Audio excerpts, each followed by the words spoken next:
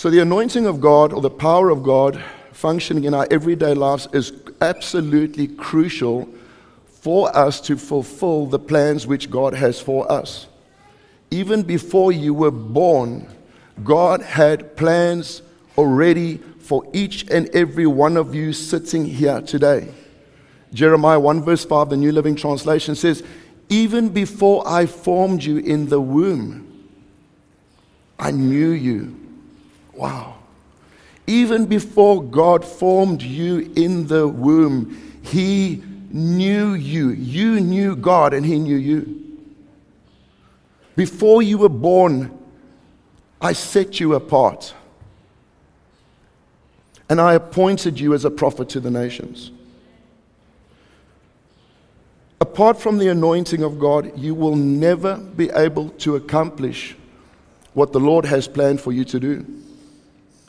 And if you need the anointing, which is the empowerment of God to do whatever it is that He has called you to do, it is more important to pursue the anointing of God rather than the calling.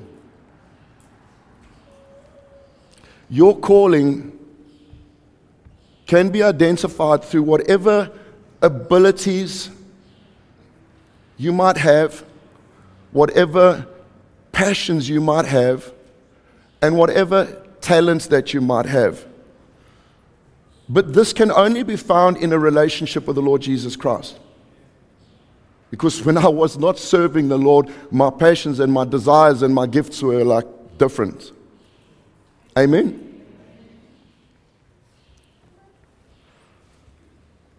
And your talents or your calling can only function when it becomes a gift.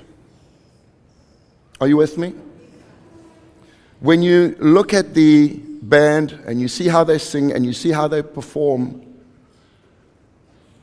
I've been teaching them from day one, and they'll tell you not about their talent, but about the anointing. A talent can get you so far, but when it becomes a gift, when the anointing comes on that which the Lord has imparted in you to do, only then does it become a gift, and only then can it be used for the kingdom of God. So, your talents and your, your calling and, and whatever it is, and the, the, the callings on people's life, it ranges right the way through. This could be someone that, that, I mean, the Bible talks about gifts of administration. Amen. Gifts of prophecy, gifts of teaching, gifts of giving. Amen. So the, so the, the, the gifts are diverse and it's like a, an entire body.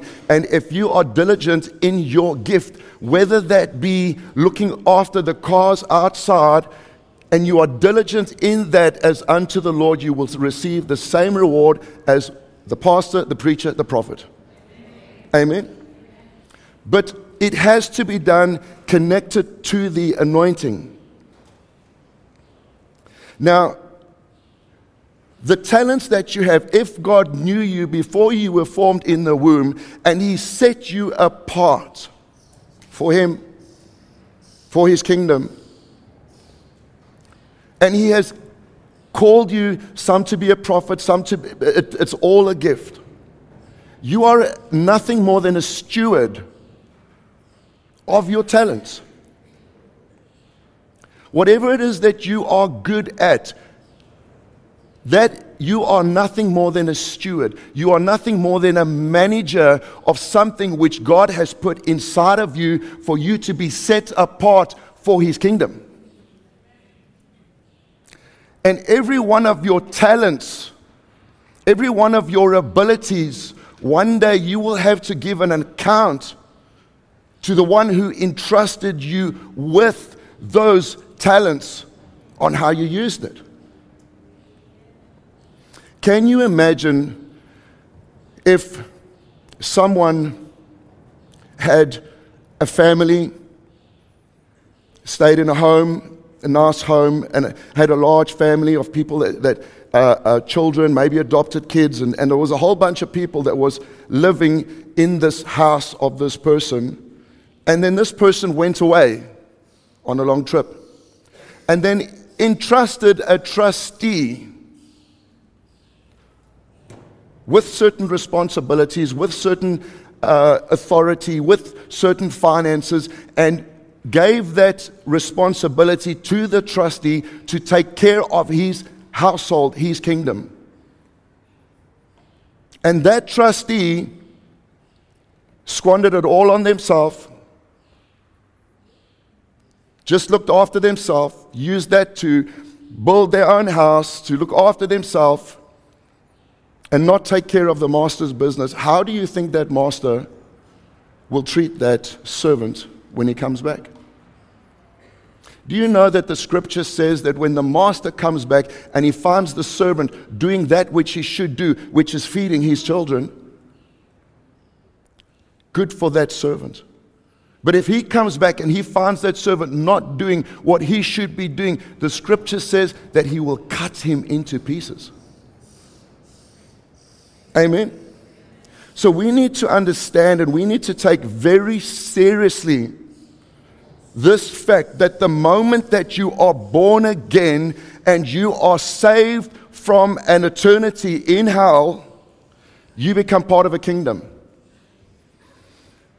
And when you become part of this kingdom, you have a crucial role to play.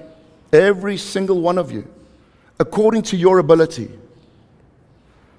You need to understand when you call yourself a Christian and you become born again, you have lost ownership of you.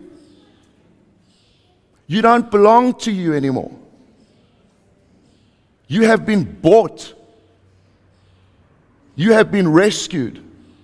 You come under the ownership of the one that bought you. You do not have the right or the privilege to make your own decisions. You don't have the right or the privilege to live how you want to live. You do not belong to you. 1 Corinthians 6, verse 19, New Living Translation. Don't you realize? Don't you get it? Christians, don't you understand this? Are you so deceived that you do not realize and grasp this fact? That your body is a temple of the Holy Spirit who lives in you, who was given to you by God. You do not belong to yourself. For God bought you with a high price. So you must honor God with your body.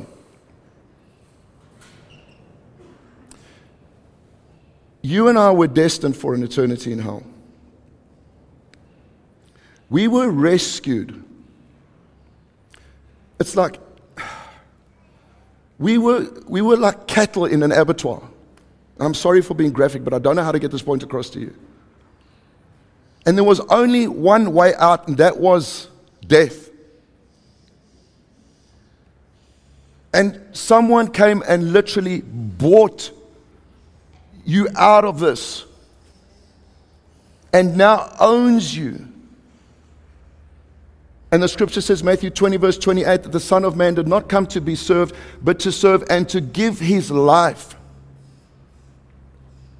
as a ransom, as a payment, paying the price to set you free from the penalty of sin.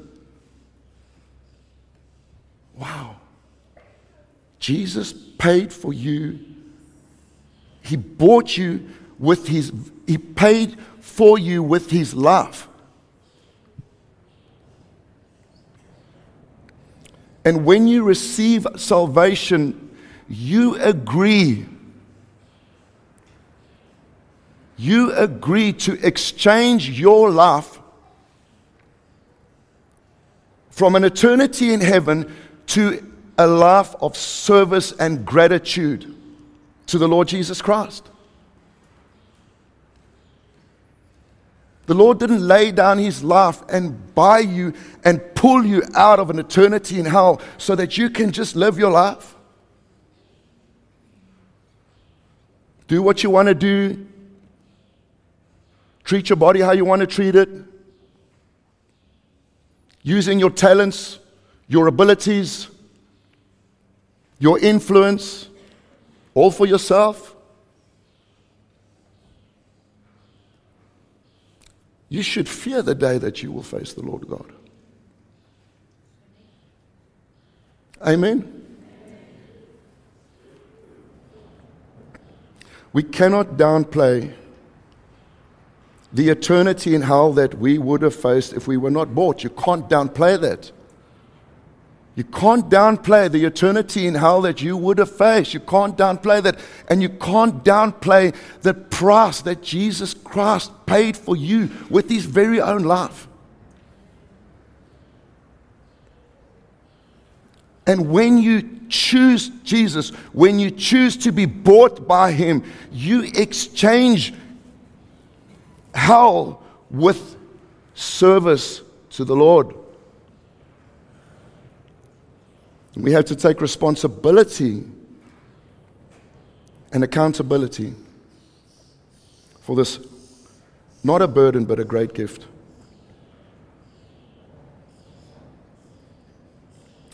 child of God, what, and what you need to do in life and what God has called you to do, you need the anointing. You need the anointing. You need the empowerment of God. You have a huge responsibility to do what God has called you to do, but you have an even greater responsibility to achieve the anointing so that you can do what you have to do. If you try to do what you think God has called you to do, whatever it may be, and you try to do it apart from the anointing, you failed even before you started. Many people have callings on their lives, whether that is in business, whether that is in helping children, whatever it is, many people have callings in their life. And they know and they, and they, and they, and they, and they sense this calling and they, they pursue the calling. Even those in ministry, and they pursue the calling. And if you pursue the calling apart from the anointing, you can be used by the devil. The enemy will hijack your talent and you will get a devilish gift. And you can be doing good things. You can be taking care of the children. You can be uh, uh, uh, working in ministry. You can be working in business. Thinking you're doing everything for the Lord. But if you're not connected to the anointing of God, you can be used by the devil. Matthew 7, verse 22 On judgment day, many do you know that word many is the Greek word pluros? Do you know that that means the majority? On Judgment Day, the majority who say to me, Lord, Lord, the majority of the Christians, the majority of those people on Judgment Day who say, Lord, Lord, we prophesied in your name, Lord. We cast out demons in your name. We performed many miracles in your name. We were functioning in the gifts, functioning in ministry. Lord, we know you, Lord. It's all done in your name. And plainly I say, I never knew you, you workers of iniquity. You evil doer. But Lord, I cast out demons. Evil. I prophesied, Lord, evil. I performed many miracles, evil. Why? Because you did not know me.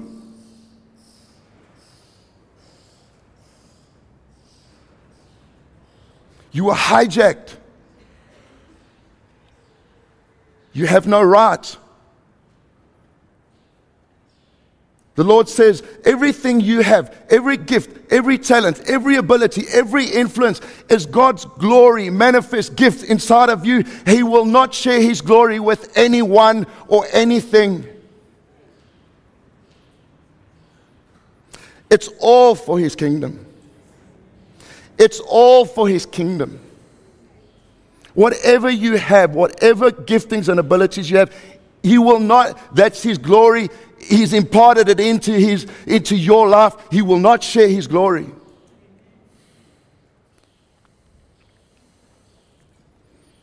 So you can think you're doing good things. You can be pursuing your calling. You can be performing miracles. And all the while, these are demons working through you. People might say, Well, Pastor Karl, how can that work? Kingdom divided can't stand. How can demons cast out demons? How can demons heal the sick? It's match fixing. Hello. Do you know what match fixing is? You might have two boxers in a ring. They look like they're opposition. They're fighting against each other, but they're working together. Hello? What brought the sickness? Demons. So they, they, they work together. When you see demons cast out, that's just manifestations. When people are prophesying, that's just divination. Wake up, people. Apart from the anointing, you will fail every single time, even though you think that you are doing what the Lord has called you to do. And the key is this the Lord said to them, I never knew you. But they knew him. They knew him, but he never knew them. You see, the anointing is developed and it is nurtured and it is cultivated by spending time in the presence of Jesus. There is no other way. And your number one priority, your number one priority is for you to pursue the Lord. to develop this relationship with Him, to pursue this intimacy with Him. That is your number one priority. That's your starting point. John 1, verse 3 God created everything through Him, through Jesus. Everything. Everything, the seen, the unseen, the galaxies, the planets, Everything was created through Jesus, and nothing was created unless through Christ. Colossians 1, verse 16 all things were created through him and for him. God created everything, all of existence, so that he could create family. He created this world and this nature and, and, and, and, the atmosphere and, and everything. He created all of that so he could create his children. You. For him. For him. You are the center of his world.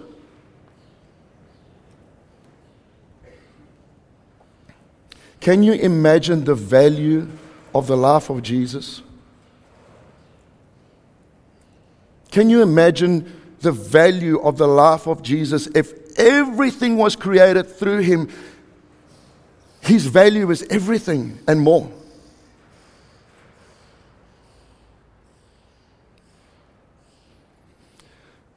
And he created you for himself, and when he lost you, He paid the price of all creation for you to get you back to Him for Himself. The loving parent that loves their child so much that literally gives up their life for their child, and He done that for you. What price did He pay for us?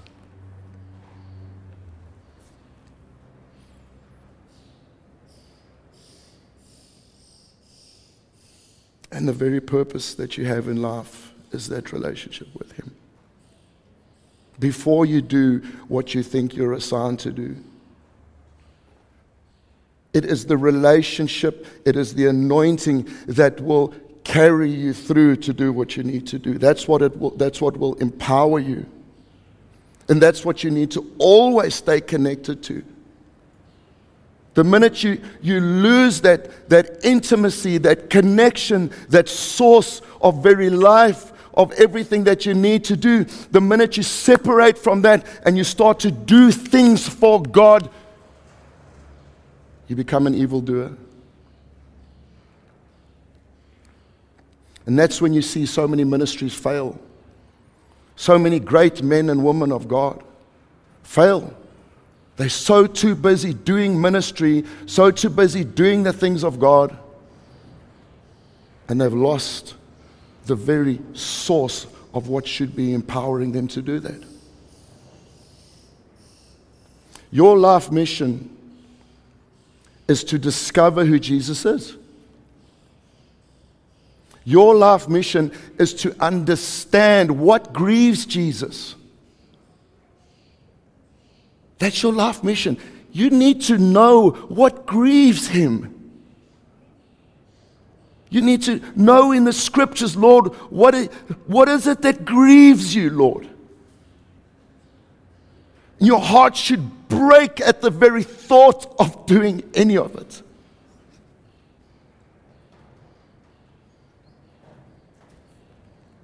Your life mission is to know and understand what pleases Him. And you should be completely and totally consumed by the desire to do so. It is your life mission. It is your life purpose. It is your greatest calling. I am obsessed by this man called Jesus. All I want to do is please him.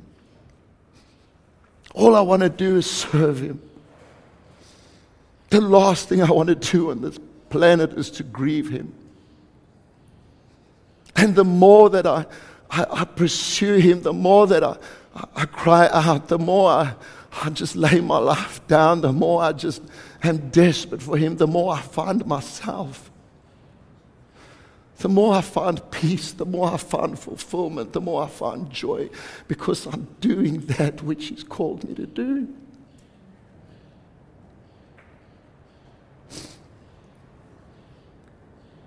You can you can use your talents and you can, you can think that, you know, oh, I just want to have this business and I just want to have this house and I just want this fame and I just want this.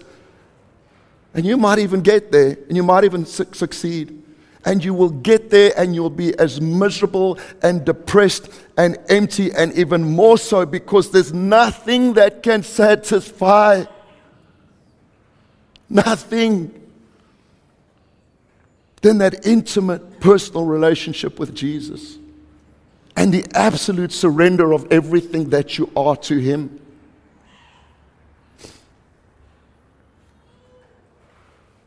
When God created you, He had in mind to set you apart.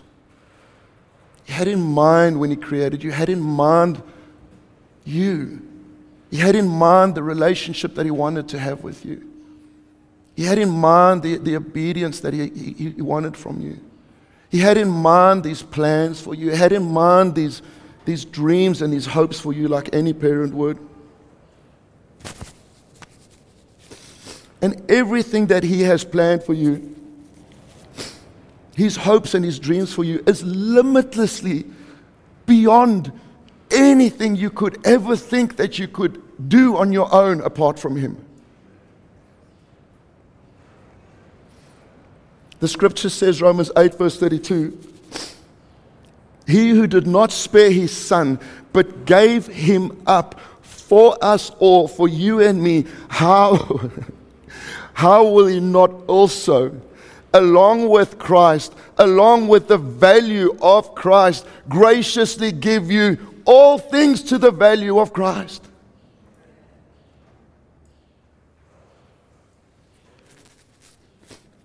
He values you so much. He paid for you with such a valuable price. And He wants to lavish upon you all things according to the value of Christ. Think about that. That's what He wants for you. That's the Word of God, along with Christ, along with the value of Christ. All things, substance, things, anything to the value of Christ He wants to give to you. So, what is the problem? What is the problem? Why are we not seeing this?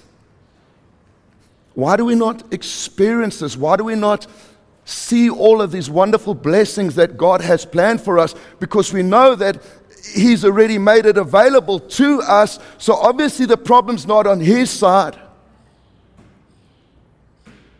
The problem lies with us. Because we are so spiritually immature that if the Lord had to pour out his blessings upon us, we would just squander it. We would drift from him. We would spend it on things that we shouldn't, that could destroy us. We would become more greedy. We'd become more selfish. It's like if you can imagine a very wealthy man that died and he left an inheritance for children. But now these children, the wealth belongs to them, but they cannot access the wealth because they're still too immature. And so there are trustees that are appointed over the wealth that will distribute it to the children until they reach the age of maturity and then they access it. Galatians 4, verse 1. If a father dies and leaves an inheritance for his young children, and those children are not much better off than slaves until they grow up.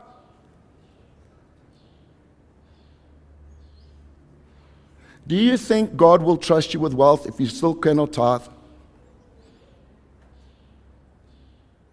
Do you know that scripture says that if you hate your brother, you're a murderer? Do you think he's going to bless a murderer? Do you know the scripture says that if you do not forgive others, God cannot forgive you? Do you think he can bless you if you have unforgiveness?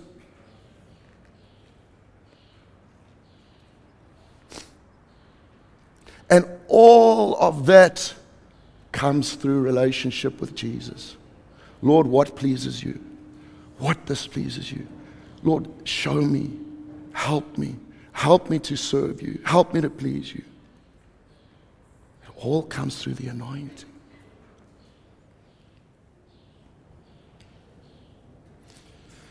Don't ever be deceived, child of God. Apart from the Lord, you have no good thing. You know, the Bible says that your heart is wicked above all things. You know that? The heart is wicked. We have such evil thoughts, such judgmental thoughts, such critical thoughts, such evil thoughts. Our hearts are wicked. The Bible says that you're not free to do the good things you want to do because you have an evil, sinful nature. The only good thing that you have in you is the Lord Jesus Christ. Apart from him, you have no good thing. And if you don't have him, you have no good thing. Psalm uh, 16, verse 2, NIV, I say to the Lord, You are my Lord. Apart from you, I have, I have no good thing. Apart from the Lord, child of God, you have no good thing. And the anointing is the process of the infilling. It's the process of the infusing and the infilling of the very essence of God. And when you yield your life to this essence of God, you start to experience the glory of God in your life. And the glory of God is the goodness of God. Exodus 33, verse 18. And he said, Please show me your glory. Then the Lord said, I will make my goodness pass before you. The glory of God, when you see the glory of God, it is the goodness of God. When you see the Lord healing someone, delivering someone, meeting their needs, taking care of them, that is all the goodness of God. The anointing, the glory, the goodness comes from the presence of God.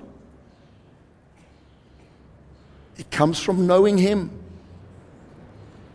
And the fruition, the maturity, the, the, the, res- the achieving the anointing, it's a process of exchange.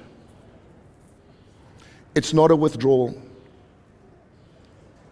You don't go to receive the anointing. It's not how it works. You don't pursue power. The anointing comes through exchange, it comes through giving yourself to the Lord. It comes through yielding to the Lord. It comes through a life of, of worship. It comes through a life of, of sacrificial giving of yourself to the Lord. It's in that place where you, where you, where you fall to your knees and you, and you say, Lord, search me, Lord. Help me, Lord. And it is in this process of when you are giving of yourself to the Lord that the Lord gives of himself to you. You never seek power when you seek the anointing. You seek the face of God. Amen. Romans 12, verse 1. And so, dear brothers and sisters, I plead with you to give your bodies to God because of all that He has done for you. Let them be a living and a holy sacrifice, the kind that He will find acceptable. This is truly the way to worship Him. You worship God through making your life a living sacrifice. You begin to sacrifice the things that you want to do that you know that you shouldn't be doing. You sacrifice it as a form of worship. And even the things that you know that you should be doing and you shouldn't, you do it as a sacrificial offering to the Lord. Your life becomes a state of worship, a state of sacrifice. You sacrifice time to spend with the Lord.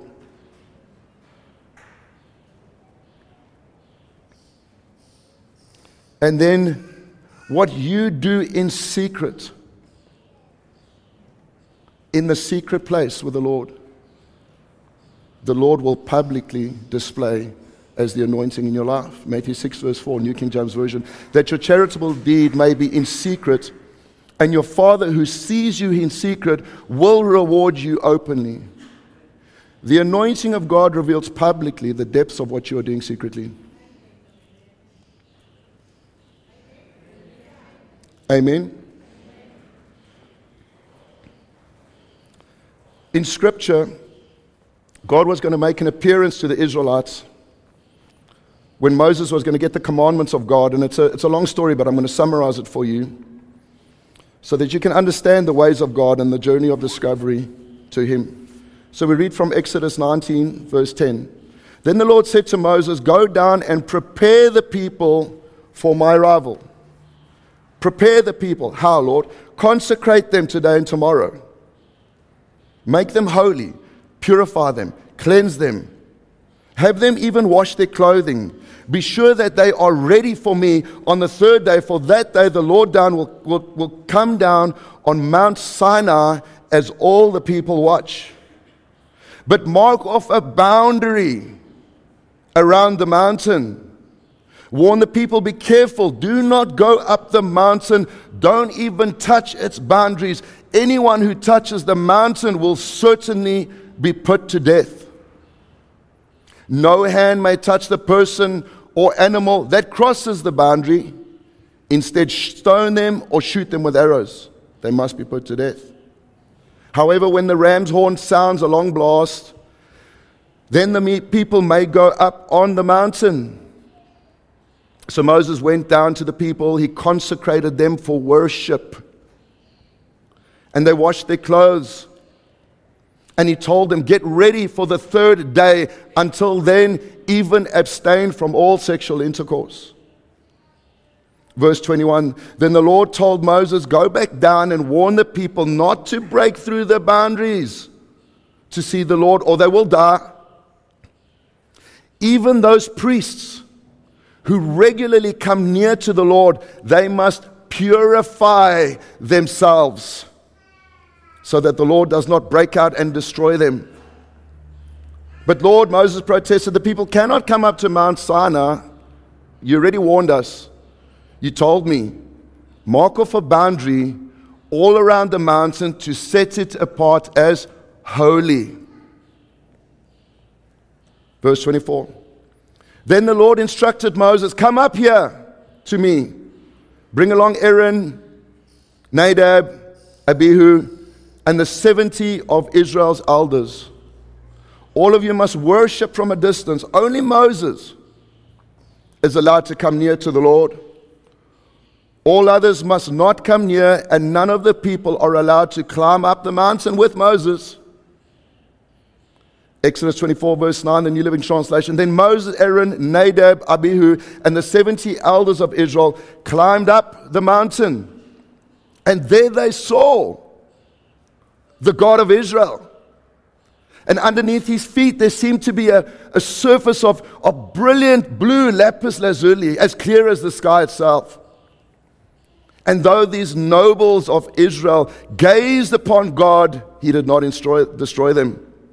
In fact, they ate a covenant meal. They ate and drank the table of his presence. Then the Lord said to Moses, Now, Moses, come up to me on the mountain and stay there. And I will give you the tablets of stone which I've inscribed the instructions and commands so you can teach the people. So Moses and his assistant Joshua set out. And Moses climbed higher up the mountain of God. Moses told the elders, Stay here and wait for us until we come back. Aaron and Hur will remain here with you. If anyone has a dispute while I'm gone, consult with them. Then Moses climbed up the mountain, and the cloud covered it. And the glory of the Lord settled down on Mount Sinai. And the cloud covered it for six days. On the seventh day, the Lord said, Moses, you are ready. Come up. To the Israelites at the foot of the mountain, the glory of the Lord appeared like a summit of consuming fire. Then Moses disappeared in the cloud as he climbed higher up the mountain. And he remained on the mountain for 40 days and 40 nights. When the people saw how long it was taking Moses to come back down the mountain, they gathered around Aaron. Aaron, come on, Aaron. Come on, Aaron, our priest. Come on, make, make, make us some gods who can lead us. We don't know what's happened to, to this fellow Moses who brought us here from the land of Egypt. So Aaron said, Take the gold rings from the ears of your wives and the sons of your daughters and bring them to me. All the people took the gold rings from the ears and brought them to Aaron. Then Aaron took the gold and melted it down and molded it into the shape of a calf. When the people saw it, they exclaimed, Oh, Israel, these are the gods that brought you out of the land of Egypt. And Aaron saw how excited all the people were. So he built an altar in front of the calf. Then he announced, Tomorrow we will be, uh, have a festival to the Lord. People got up early the next morning to sacrifice burnt offerings and peace offerings to this calf. And after this, they celebrated with feasting and drinking, and they indulged in pagan revelry. And while I was praying, the Lord started to just unwrap this whole story, the symbolic meaning of all of this where the Israelites were the covenant children of God. They were the covenant children of God. And these covenant children of God represents Christians. And before they had to come into the very presence of God for three days, they had to purify themselves, they had to consecrate themselves, they had to make themselves holy to come into the presence of a holy God. Even washing their clothes. And that was just to stand at the foot of the mountain. And there at the foot of the mountain, there were boundaries put because the mountain of God was holy. When you crossed over that, you were in holy ground. And only the priests who lived consecrated lives, who came regularly before the Lord, only those were the ones that were able to pass by the boundaries. And even those who passed by the boundaries, the Lord said in Exodus 19:22, even those priests who regularly come near to the Lord must purify themselves so that the Lord does not break out and des- destroy them. So, as they ascended higher and higher into the presence of God, they had to purify themselves. The boundaries set up separated the holy from the unholy. Even though the Israelites were covenant children, they set up boundaries for themselves. They set boundaries for their sin. They set boundaries for their holy living. You can say it's like the Christian that says, you know what? Uh, there's boundaries on my faith. I'll go to church once a week, but I'm not going to do Bible college. You know, like I'll pray, I'll do a devotional once a morning, but I'm not going to read my Bible every day. I have boundaries. Because I, I, I still want to live in sin. I, I still want to watch the things I shouldn't. I still want to do the things I shouldn't. I'm not willing to cross that boundary, the boundaries that I've put up. And those who crossed over the boundaries put the boundaries on sin. They crossed over into holiness and they said, This is the boundary. I'm all in for the Lord. And they crossed over. There was no boundaries for them on living a holy life, there were boundaries on sin. And the wonderful thing is, only those who stepped across those boundaries, who said, Lord, I'm all in, I want holiness. I want to ascend the mountain. I want to step out of behind the boundaries of sin. I want to step out of the boundaries that I put in my life, in how I want to serve you. I'm done with this. I'm stepping onto the holy mountain, Lord. The boundaries are now behind me. The boundaries is sin. And it was only those who sat and ate at the table of the Lord's goodness. It was only those who gazed upon the Lord. It was only those who came into the presence and the Lord set a table for them. And they ate of the goodness of the Lord. Child of God, if you are still having boundaries on how you want to serve the Lord, if you still have boundaries on the sin that you want to entertain in your life, you, He's not your God. You are still your own God.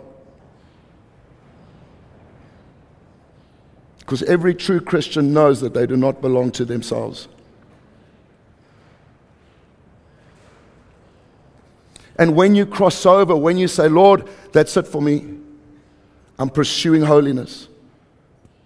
I'm putting this sin behind me. Yes, I'm going to fail, Lord. I, I, I'm going to fail, but you know what? I'm not going to live in it.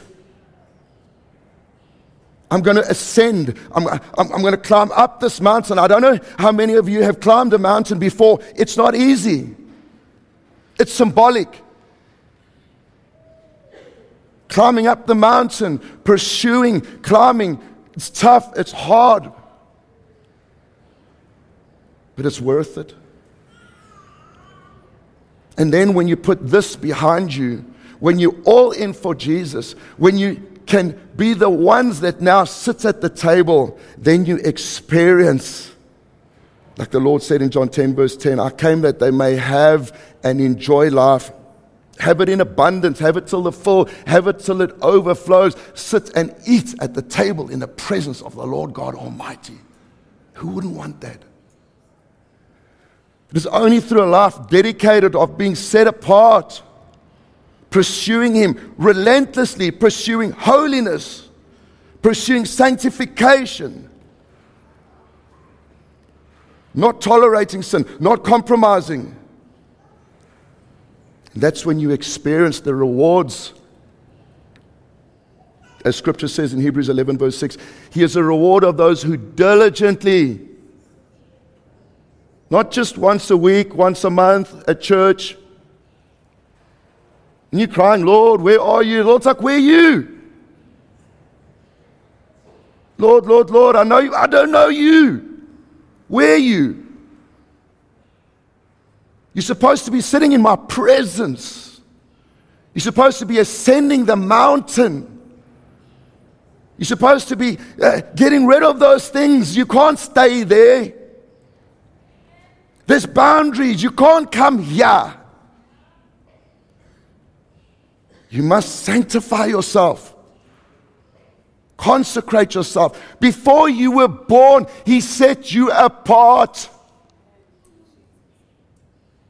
Be set apart. Jeremiah 29, verse 13 You will seek me, you will ascend the mountain, and you will find me when you search for me with all your heart. Are you searching the Lord with all your heart? Are you? And your heart is the very center of your being. It is, it is the epicenter of who you are, and everything else flows from that. So you seek the Lord with your heart. You seek the Lord with, with, with your, even with your thoughts, with, with, with what you say, with, with what you do, where you go. Diligently. If there's an opportunity to do a discipleship course, I'm there. If there's Bible college, I'm there. If there's church on Sunday, I'm there. If there's a prayer group on any day, I'm there. I want to sit at the table of the Lord.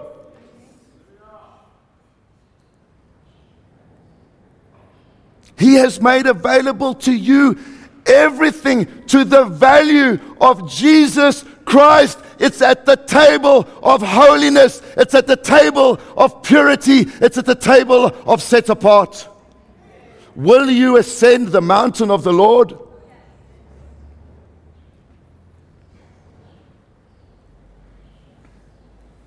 Colossians 3, verse 7, 17. Whatever you do, Whatever you do, whatever you do, no matter what it is, listen, what you are saying or what you are doing, do everything in the name of the Lord Jesus Christ. And independence upon Him, giving thanks to God, the Father, through Him. Hallelujah. And what's so interesting as well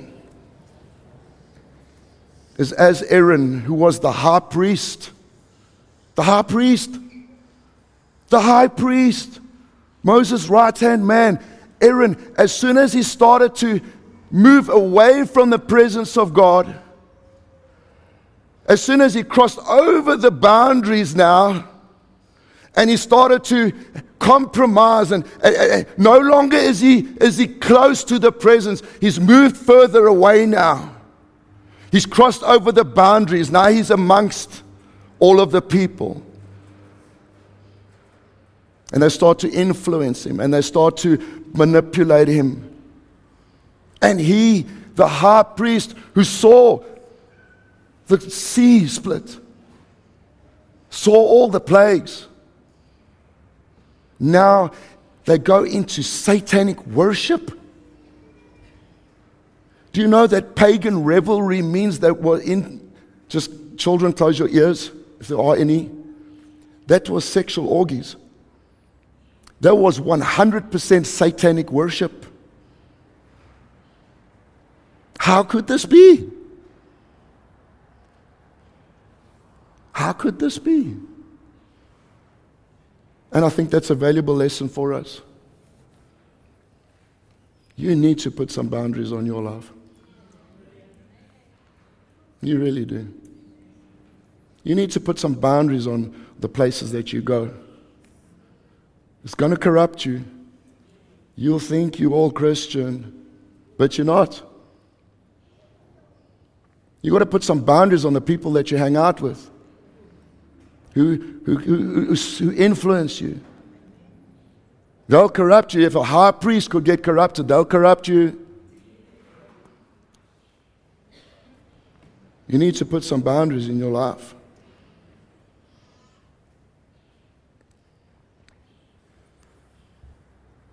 Because as soon as people get disconnected from the presence, the further they move away from the presence, the further they move into worshiping false gods, even thinking that they're doing the right thing. How could he be so deceived? How could they be so deceived? The scripture says, 1 Corinthians 5, verse 11, Amplified, I've written to you now, Christians, not to associate with any so called Christians. If you're sexually immoral or greedy or as an adulterer devoted to anything that takes the place of God, who has got a foul mouth, who slanders and abuses people, speaks behind their backs, who is a drunk or a thief, have nothing to do with these so called Christians. Don't even eat with them. Wow. Wow. Food for thought. Amen. If the shoe fits, kick it off. Amen. Now we're going to come to a close. I want you to just listen. Just say this, say, Lord, open my eyes that I may see, comprehend, the marvelous mysteries of your beautiful word. I pray that every day. Exodus 33, verse 12. You have said, I know you by name. This is the, the, the, the, dialogue with Moses as he came to the Lord. You have said, I know you by name. Lord, you have said that you know me by name. You know me in a certain way. You also said that, that you, you found grace in your sight. You're looking at me in a certain way. Now, Lord, therefore I pray, if this is true, if I found grace in your sight, show me now your way that I may know you and that I may also find this grace in your sight. And consider that this nation is your people. And he said, My presence will go with you, and I will give you rest. Then he said to him, Lord, if your presence does not go with us, I don't want to even go from this place. For how then will it be known that your people and I have found grace in your sight, except that you go with us? Because it's your presence that separates us from all of those people on the earth. So, the very mission of Moses, the very goal of Moses, was to find the presence of God. When he came into the presence of God, when he ascended the mountain finally to come into the presence of God, he said, Lord, now that I am in your presence, your presence must go with me. I do not want to go nowhere without your presence, Lord. Because it's your presence that sets us apart, Lord. It's your very presence that makes me different. And you know, Moses wasn't perfect, he had serious anger issues. He was a murderer. So we don't have to be perfect. But it's the presence of God that changes us, that makes us different. We speak different, we act different. We function different. But what is so interesting to me, what blew me away, Is that part in Exodus 33, verse 12? He, said, You have said, Lord, Lord, you have said, I know you by name. And you have said, Lord, that I found grace in your sight. Now, Lord, I, I, pray that if I have found grace in your sight, show me now your way that I may know you, that I might find grace in your sight. See, the Lord was saying, Moses, I know you, Moses. I know you, Moses. I know you by name. I know you by the person I've set you apart to be. I know you, Moses, in a way that I've created you. When I look at you, Moses, I, I see a grace on your life. When I look at you, Moses, I see the relationship that I designed you to have with me. When I look at you, Moses, I see the obedience that I wanted from you. When I look at you, Moses, I see the plans I have for you. Because I know you, Moses, the real you. When I look at you, Moses, I see the real you. And Moses responds, he said, Lord, I pray. Then I pray, Lord, if you see me this way, then show me your ways that I too may know you. That I too may have this intimate personal relationship with you. That I too may have this, this obedience Lord, I pray that what you see with a grace in your sight when you look at me, if I have that, then I pray, show me your ways that I may find that, that I may find this grace, that I may find this relationship, that I may find this closeness, that I may find this obedience.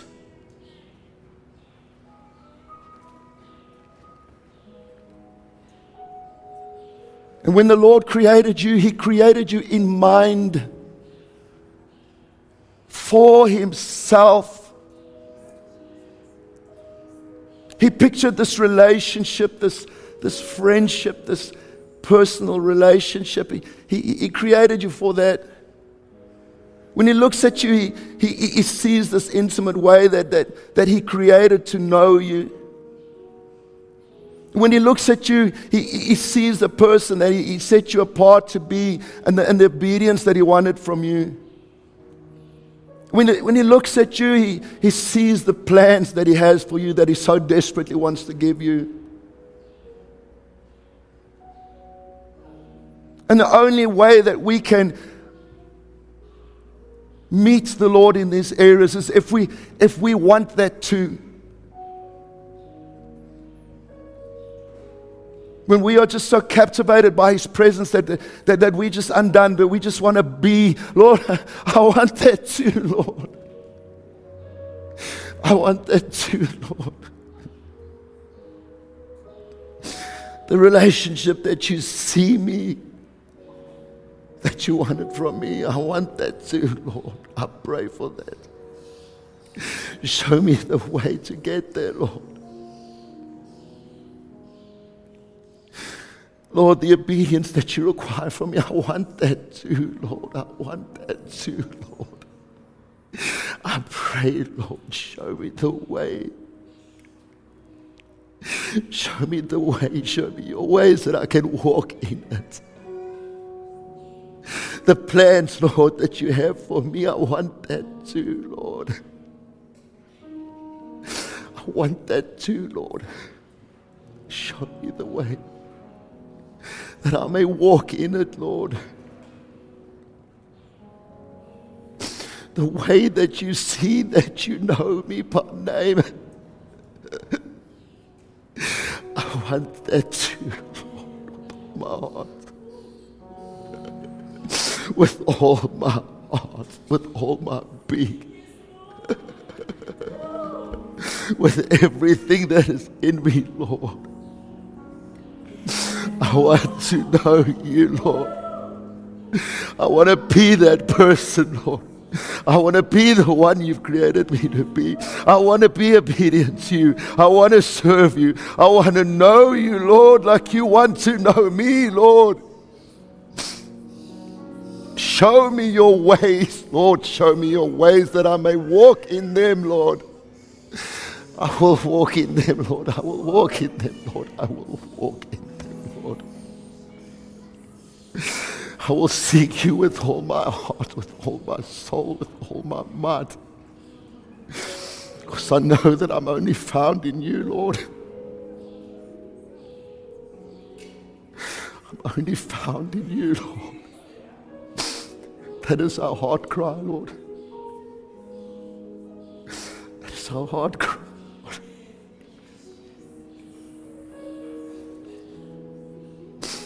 Is our heart cry, Lord. And Lord, your word says that if we pray according to your will, we know that you hear us. And if we know that you hear us, we know that we have that which we ask from you. And we want your will, Lord. We want your will. We do not even belong to us, Lord. We don't even belong to us. You paid so much for us. You paid so much. Oh, Jesus. Love you, Lord. I love you, Lord.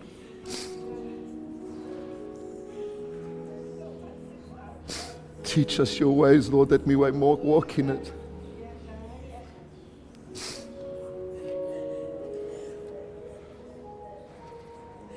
Teach us your way, Lord, that we may walk in it.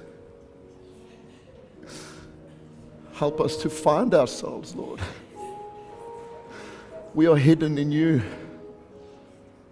We are hidden in you.